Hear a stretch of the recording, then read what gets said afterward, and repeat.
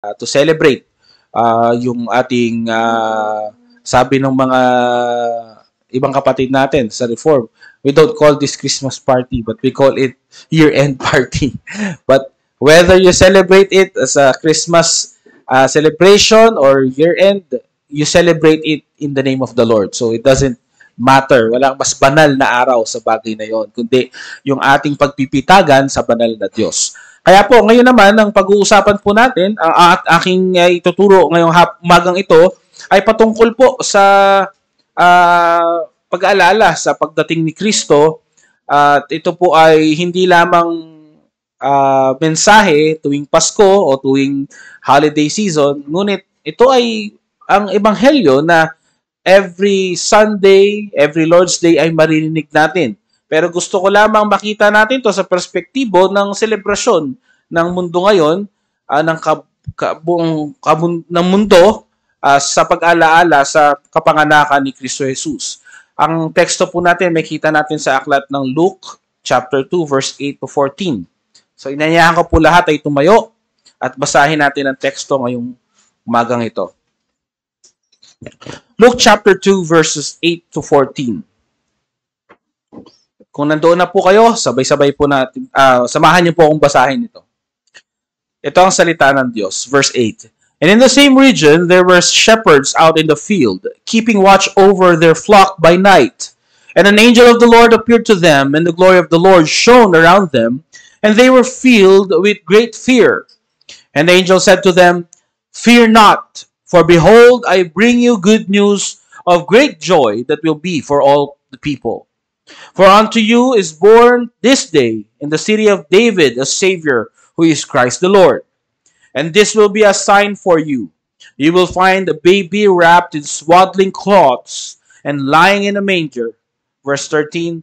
And suddenly there was with the, angel a multitude of the heavenly host, praising God and saying, Glory to God in the highest, and on earth peace among those with whom He is pleased. Pagpalain ang pagbabasa ng salita ng Diyos. Tayo po sumaglit na manalangin.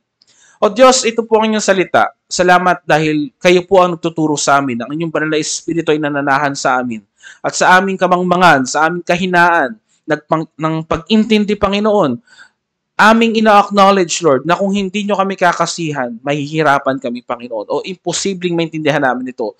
Ngunit salamat sa iyong biyaya na patuloy kaming tinuturuan ng iyong banal na Espiritu. Kaya kami po ay nagpapasakop dalangin po namin na maibigay po namin ang isang daang porsyento ng aming focus sa pag-aaral ng salita, na seryosohin namin ito at pagpitagan namin ang paghahayag ng inyong salita. Ito po aming dalangin sa pangalan ni Jesus, lahat ay magsabi ng Amen. Tayo po yung mga kaupo. Ang aklat po ng Lucas na pinaghanguan natin ng salita ng Diyos na pinag-aaralan natin ngayon ay ang ikatlong uh, aklat uh, sa New Testament. It's one of the four Gospels at uh, ito po ay uh, sinulat ni Lucas. Ito po ay pagsasalaysay o salaysay ng uh, mga pangyayari sa buhay ni Kristo, sa kanyang kapanganakan, hanggang sa kanyang kamatayan at muling pagkabuhay. Kaya po ito ay tinawag na the gospel according to Luke dahil in-enumerate at nilatag niya ng napakaganda kung papaano na turo ang ebanghelyo. Ito po ay sinulat para sa mga hindi Hudyo o para sa mga hintil, gaya natin. Specifically to the Gentile non-Jewish Christians. At in-emphasize po nito yung plano ng Diyos, hindi lang para sa Hudyo, kundi para sa mga hintil at para sa lahat ng uri ng tao. Kaya salamat sa Diyos dahil uh, ito po ay naisulat at uh, natapos na nung AD 60 to 65, maaga, bago pa tayo pinanganak, bago pa tayo na ilalang sa mundong ito, dahil nakikita natin yung benepisyo ng kagandahan na mabasa natin pagkakalatag kung ano ba ang sinasabi ng Ebanghelyo ng Diyos. Meron po kayong baka napanood na isang commercial, I think that uh, commercial is about um, uh, isang produkto na kung saan ang uh, scenario ay nasa isang gera sila, World War I. So, antigo na ito. At merong mga trenches, trenchera, kung saan nagtatago yung mga sundalo. At sila ay lumabas sa kanilang mga kuta. At sila ay nagkita-kita, nagbigay ng mga gifts, at naglaro uh, ng football, at nag-celebrate ng Christmas. Yan po ay commercial. But it was based on a true story which happened on the Christmas Eve of 1914. Nangyari po ito between the British Expeditionary Force, yung mga sundalo ng uh, Britanya noong World War I, laban sa mga uh, Aleman, sa mga German. So, the British and the Germans are at war in World War I at meron din sila mga alyado gaya ng France, kakampihan ng Britain, ang US, and then yung Germany. Sila-sila naman. At ang paglalaban ng ito ay nakakapagod. Lahat ng mga sundalo ay nakakaramdam ng takot because of uh, the modern uh, way of killing has been very efficient. Na, nakakalungkot na ang teknolohiya na dapat mag-advance sa buhay ng tao ay naggamit para kitilin ang buhay ng tao. Kaya ang paraan nila na hindi sila mamatay kaagad ay naghukay sila ng mga trench o yung mga trenchera. Bakit? Kasi nung taon, nung taon na yon, nung 1914, eh ang pinakabagong teknolo- teknolohiya sa gera ay tinatawag na machine gun. Doon to na maximize. At kung merong trench ang mga Germans at ang mga British, yung pinapagitnaan nun ay tinatawag na no man's land. No man's land. Sabihin, bawal tao doon. Pag tumayo ka doon, patay ka. Kasi everything beyond your trench is presided by all the machine guns of both parties. Walang parte doon na hindi pwedeng tamaan o hindi na target. Bukod pa doon, both sides have their own artillery. Meron din sila mga kanyon. So, anyone na lalabas doon ay mamamatay. There is hostility. And everyone was afraid. Both sides were afraid. Takot sila. They're so afraid of losing their lives. To the point, nang ginawa ng mga British, meron silang tinatawag na SAP or sappers, naghuhukay sila ng lupa. Gagawa silang tunnel kasi pag sa taas, expose sila. So sa ilalim sila dadaan at pinapasabog nila yung trench nung kabila. So ba't ko sinasabi to? People are doing things because of fear. Na-advance yung technology because of fear. Ba't nagkaroon ng tangke? Kasi takot sila. Mamatay. Sa gera, nasusugod sila na wala silang armor, wala silang protection.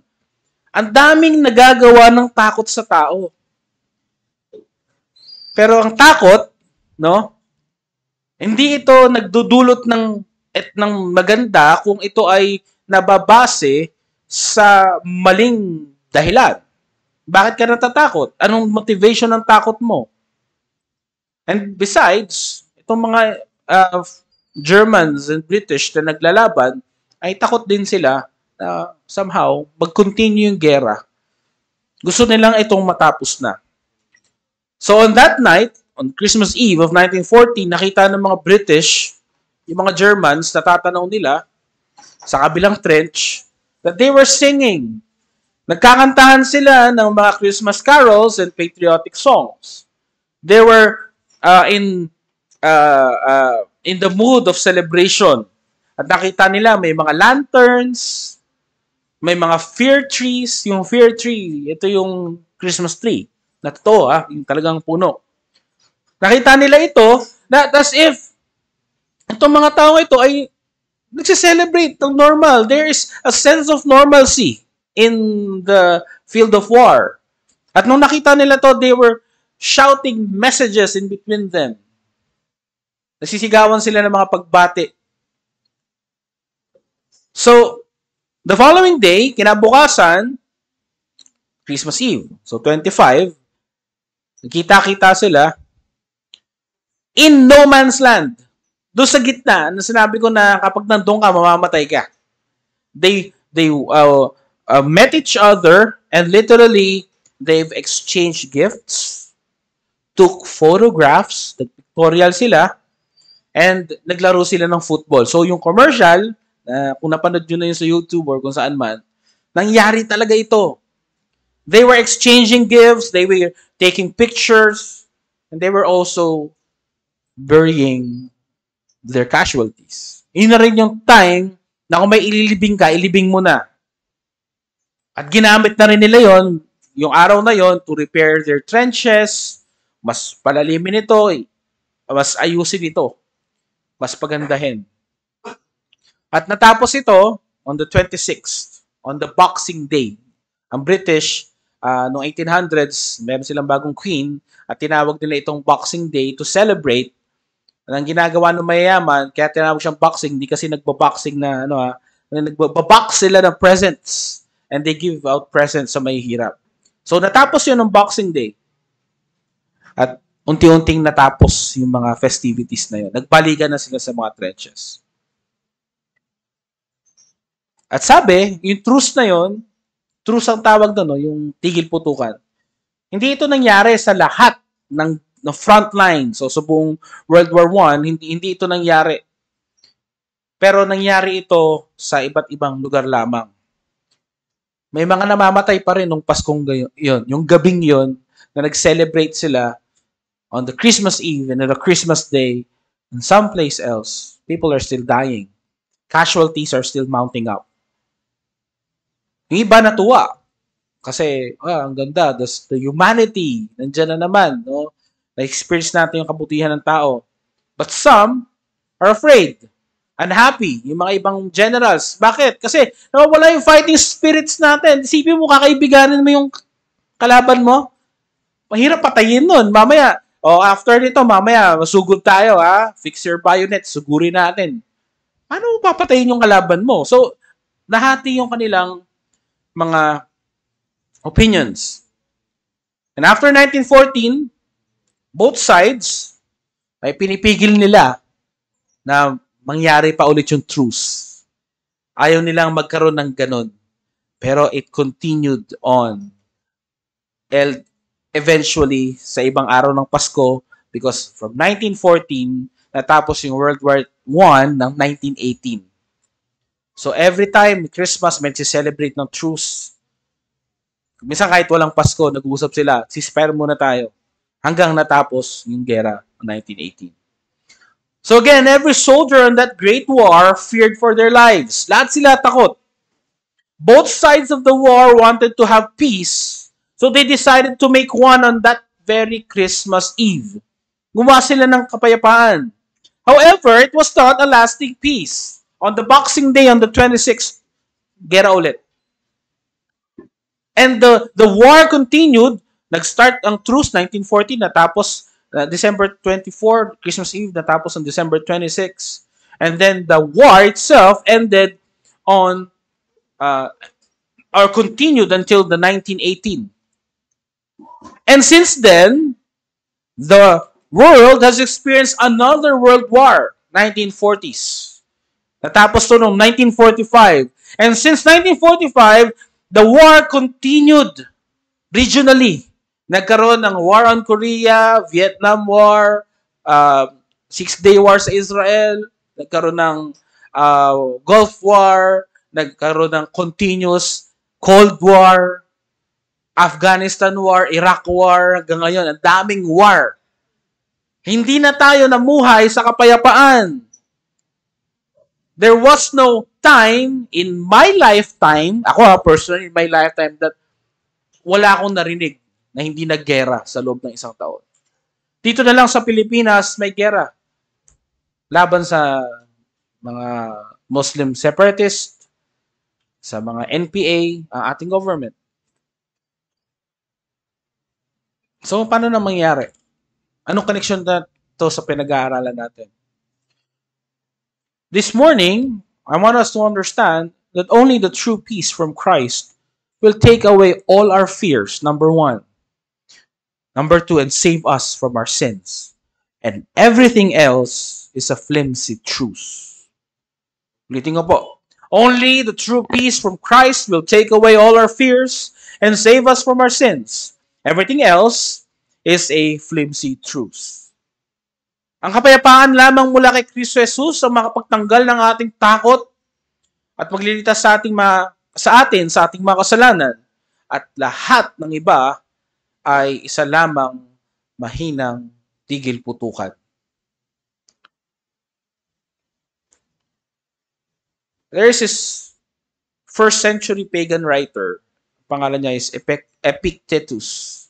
Stoic siya, and he is good in writing. And he said this While the emperor may give peace from war on land and sea, he is unable to give peace from passion, grief, and envy. He cannot give peace of heart, for which man yearns from more than even outward peace. Ulitin ko po. Sabi ni Epictetus, ang emperor ay kayang magbigay ng kapayapaan mula sa gera, sa lupa, at sa karagatan. Pero hindi niya kayang magbigay ng kapayapaan laban sa ating kalungkutan, sa ating pagkaingit. Hindi siya kayang magbigay ng kapayapaan sa puso na yun ang ating ginugusto kesa sa panlabas ng kapayapaan. Even unbelievers know that they need peace and salvation. Kahit yung mga hindi mananampalataya ay nire-recognize nila na kailangan natin ng kapayapaan at ng kaligtasan. The truth is, we are in hostility against God. That's why we fear. Kaya tayo natatakot, kaya ang sangkatauhan ay takot. Dahil tayo ay nagrebelde laban sa Diyos. But fear not, little flock, In Luke 12:32 sabi, Do not be afraid, little flock, for your Father has been pleased to give you the kingdom. And this is the good news to us believers. Brothers and sisters, that we should not continue in fear in a sense of the hostility of God, His wrath towards us, because we are His flock. And that night, that very faithful night, on the eve of Christ's birth. There were shepherds in the field. They were in the field at nagbabantay sila ng kanilang mga tupa. At ito'y gabi ng mga gabi. At ang anghel ng Panginoon ay dumating at nagdala ito ng matinding takot sa kanila. In the King James Version, ang ginamit doon na word ay, they were sore afraid. Napaka-saktong definisyon sa takot. Dito sa ESV ang ginamit, they were filled with great fear. Hindi lamang takot, kundi matinding takot. Naranasan niyo na ba yung sobrang natakot kayo na gusto yung tumakbo pero hindi, hindi ka ba kaalis sa sarili mong lugar? Para panood nyo sa cartoons, no? Tumatakbo pero hindi nakakalayo. Sa mga pelikula ng Shake, Rattle, and Roll, comedy, takbo ng takbo, hindi makaalis. I can only imagine that this shepherd, this group of shepherds, eh hindi sila makatangka na tumakbo. They were frozen in fear. In great fear, they were cowering. They wanted to just be gone. Dahil sa nakita nila. At nagsalita ang hell ng Diyos. Hindi matakot.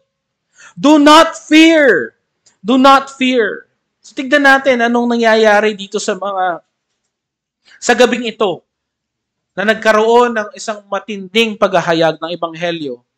Una, tignan natin sino yung mga nandun. These are not the British and the German soldiers, but this is between the angel of God and the shepherds. Who are these shepherds? The shepherds are poor. Mahirap lang sila. Kaya ngayon ang trabaho nila eh. Yun yung kanilang kabuhayan. At napakahirap maging shepherd. Sa umaga, kung summertime o tag-init, bilad ka sa araw. Sa gabi, kung winter, o kung nasa Middle East ka, kahit hindi winter, may times na malamig. Nangangagat ang lamig sa Middle East.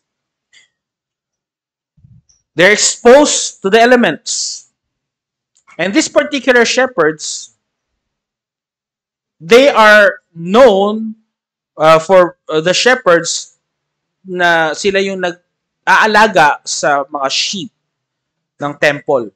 So may templo, may mga alaga sila doon, tandaan natin, yung mga pare kumakain din, pero sila mga alaga. At sila, yung naatasan na mag-alaga ng mga flock o mga kawan ng templo.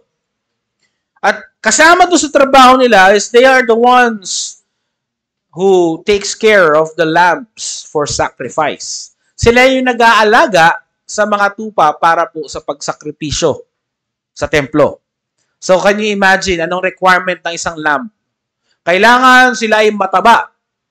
Walang bahid dungis, walang batik, walang pilay, walang bulag. Perfect condition. So, it is hard work to be a shepherd at the time.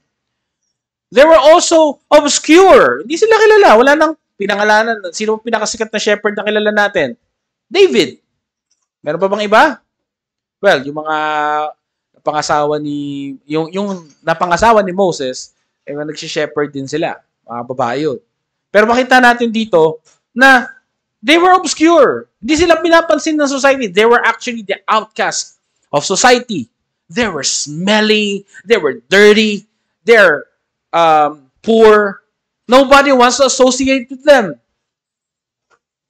They're obscure and considered a social outcast but they somehow characterize the Good Shepherd.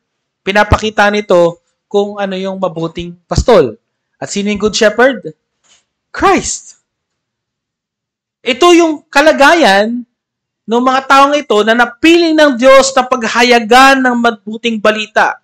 Sabi po ni Morris sa isang commentary, as a class of shepherds had a bad reputation.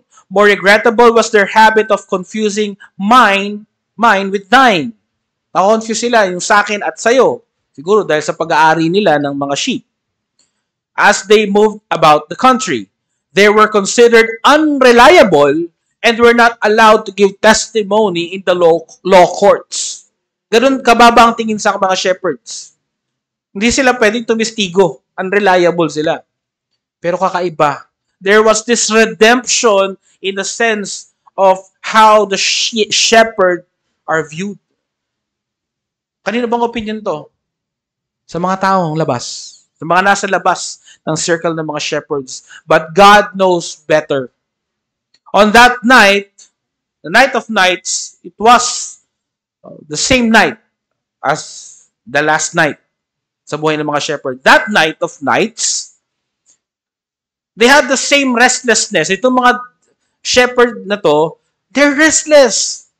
Hindi ito natutulog ng pikit ng sabay na mata siguro eh. Bakit? They're outside, they're taking care of the flock, and anong part ng uh, trabaho nila? They have to fight the wolves, the lions, and the bears. Gaya ng ginawa ni David. They have to take care of the flock. Na kapag nakarinig sila ng onting kaluskos, magigising sila. So there's this idea that some of them are sleeping while the others are awake, taking turns in watching the sheep. So since this is uh, an ordinary night, uh, they go um, they have the same restlessness, they have the same um, stress na nararamdaman. So there's nothing unusual. Nothing unusual until boom, dumating yung angel of the Lord. Sino man itong mga anghel na to? The angels, nung gabing yon, yung angel mo muna, isa muna, nagpakita. That angel is the first angel who preached the gospel. Siya yung unang anghel na nagpahayag ng ebanghelyo. At pangalawa, yung angels, an army of heavenly hosts, dumating. Hindi lang siya nag-iisa. After niyang may hayag yung ebanghelyo, grabe. Sa likod niya, nagpakita yung army the heavenly host. Sasabihin sa iyo ng anghel, huwag matakot. Nakita mo, hindi ka lang nag-iisa. Ang dami nyo. Sinong hindi matatakot? And they have the reason to fear. Una, hindi ka naman lagi nakakita ng angelic being sa langit ng isa.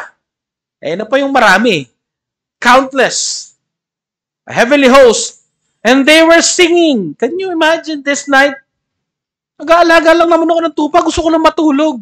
Magpapakita sa akin isang anghel. Magahayag ng mabuting balita.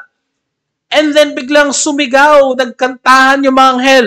Glory to God in the highest. Can you imagine? Dito tayo pag kumakanta, no?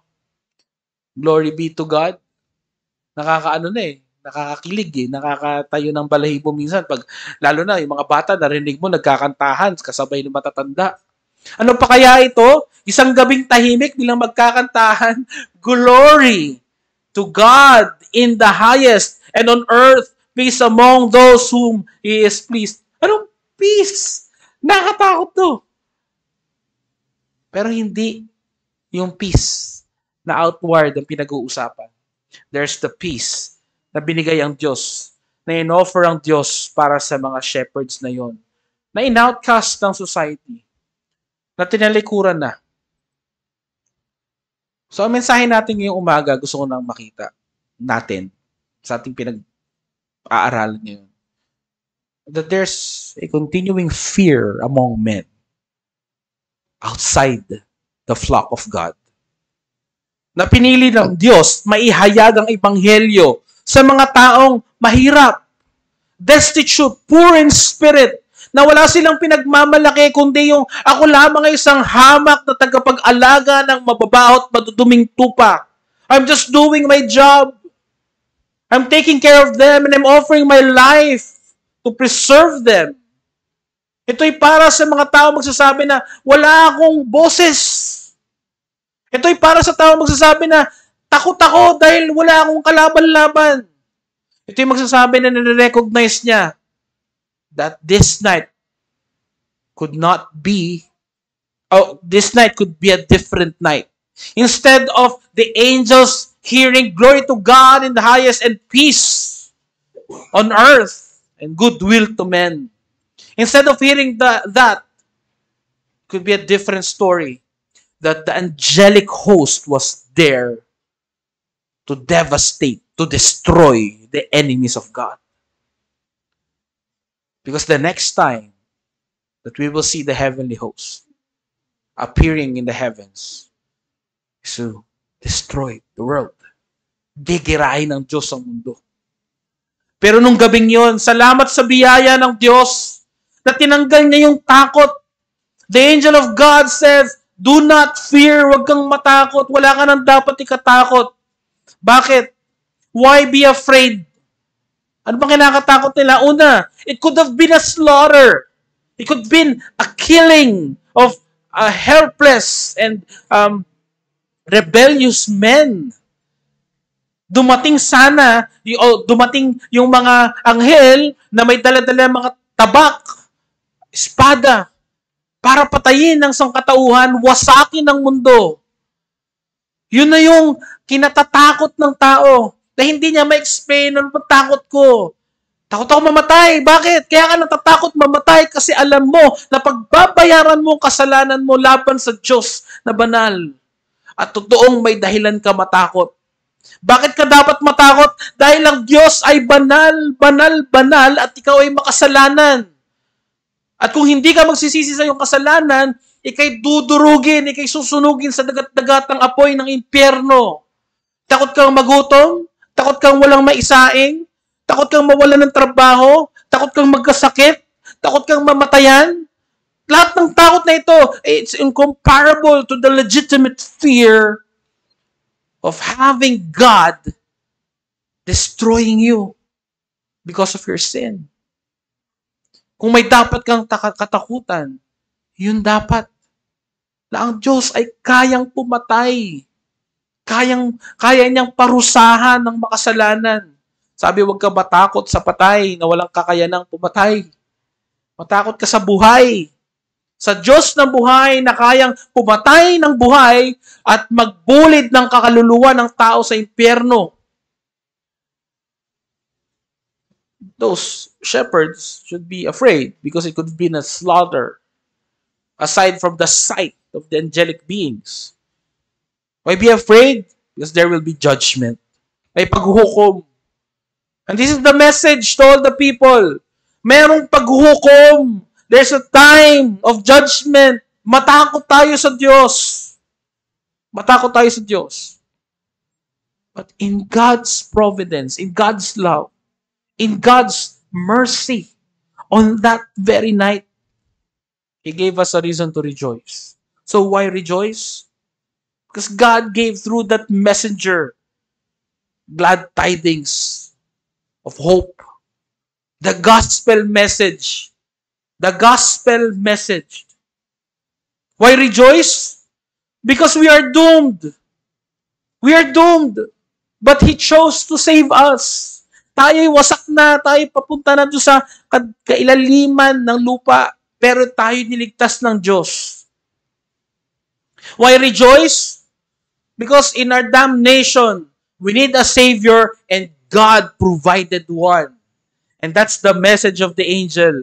Let's go back to our text. Sabi dito sa verse 11, uh, sa verse 10 muna, And the angel said to them, Fear not, for behold, I bring you good news of great joy that will be for all the people. And this is for all the people, all walks of life, every single being, single human being. This is a good news for everyone. What's the good news? For unto you is born this day in the city of David a Savior, who is Christ the Lord.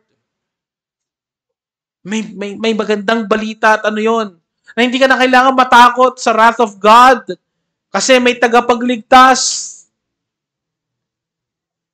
Salamat sa Diyos dahil hindi lang ito mensahe, pero meron ding sig- signos. There's a sign. Sabihin, merong direksyon at sinabi dito sa verse 12, and this will be a sign for you. You will find the baby wrapped in swaddling cloths and laying in a manger. They're the angel was not only giving the message, but he's pointing to a person. Jesus Christ, the baby, the Son of God, was given to us. And the angels pointing the shepherds to Christ. So the gospel message, the gospel of good news, the good news of the gospel points us to Christ. A child was given, and the consequence of that is peace, kapayapaan. So as I conclude my preaching this morning, gusto kong makita natin. And if not for the grace of God, wala tayong kapayapaang makukuha sa mundong ito. Wala tayong kaligtasan makukuha sa mundong ito.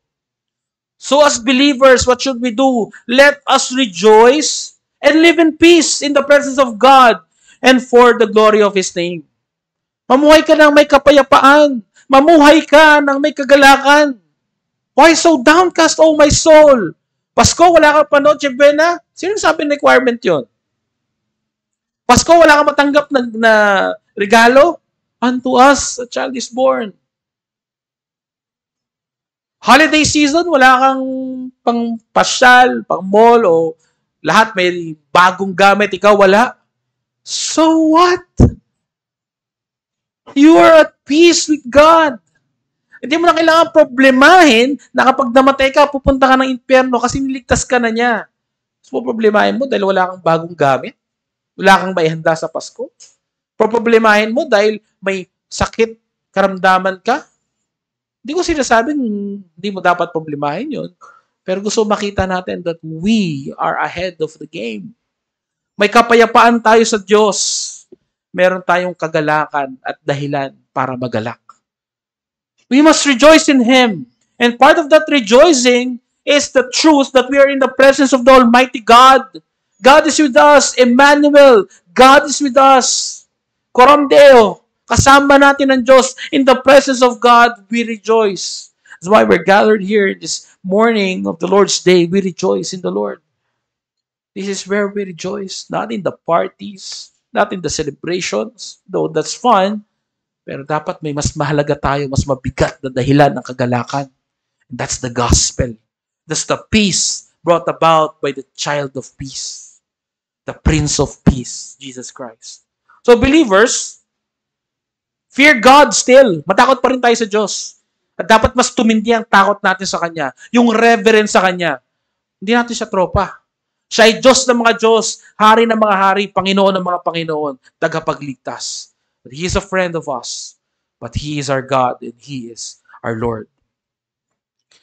Anong dahilan natin? Ba't magre-rejoice? Hindi lang tayo matatakot? Rejoice in the reality of the gospel. That the gospel is true. Kapatid, totoo ang ebanghelyo. Manampalataya ka na nagligtas ang Diyos at kaya rin niyang magligtas nung hindi pa nakakaligtas. Meron ka bang kamag-anak, mahal sa buhay na hindi pa nakakilala sa Panginoon? Rejoice in the reality that the gospel is here. And part of that rejoicing is joyfully preaching. Preach the gospel to your loved ones, to your friends who haven't heard na hindi pa nakakakilala sa Diyos, that they are living in fear. That's why when people live in fear, they create artificial things to uh, to quell that fear. Itago yung takot na yon through materialism, through be- being relevant. Kaya nandiyan ang social media dahil maraming takot maging obscure, takot makalimutan. Kaya nandiyan ang, ang kayamanan para makita natin yung comfort. Pero matakot kayo na hindi pa nakakilala sa Panginoon, ang inyong comfort lamang ay sa material na bagay sa lupang ito sapagkat wala kayong kapahingahan pag nasa impyerno kayo kung hindi kayo magsisisi, kung hindi kayo mananampalataya sa Ebanghelyo, sa mabuting balita. If we rejoice in the gospel, we rejoice in the reality of the gospel. If we rejoice in the reality of the gospel, we rejoice in preaching the gospel. To the unbelievers, fear God still. You're not out of the hook. You're not out of the tunnel. You're still there if you're living in sin. But know that the gospel is good news. This is the good news that Jesus Christ has come. He lived a holy life. He was crucified, he died, he was buried, and after three days, he rose again to save us. Jesus Christ is the way out of that fear.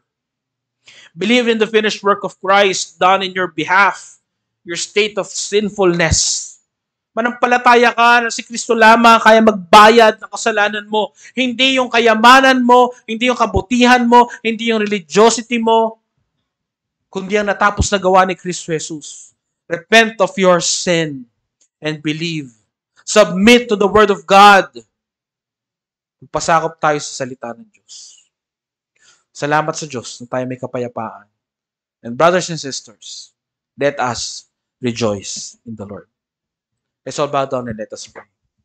Heavenly Father, we thank you for your message this morning, reminding us that we have a reason to rejoice because the hostility between you and us is already ceased because of the finished work of your Son, Jesus Christ, on the cross. It is not a truce, but a peace, a lasting peace. That's why we thank you, O Lord continue to remind us of that good message, of that great message. That if we will have fear, it is because we revere you, O Lord. But if we will rejoice, it's because of the finished work of your Son, Jesus Christ. Salamat o Diyos sa buhay na binigay niyo sa amin. Lalo din, Panginoon, tinataas namin ang mga mahal namin sa buhay na hindi pa natusumpungan ang kapayapaang ito. Dalangin namin, Lord, that you grant them grace, that you grant them repentance, that you save them, that they may rejoice with us, that they may join us in glorifying you, in worshiping you, in honoring you. We thank you, Lord. In Jesus' name we pray. And everybody say, Amen.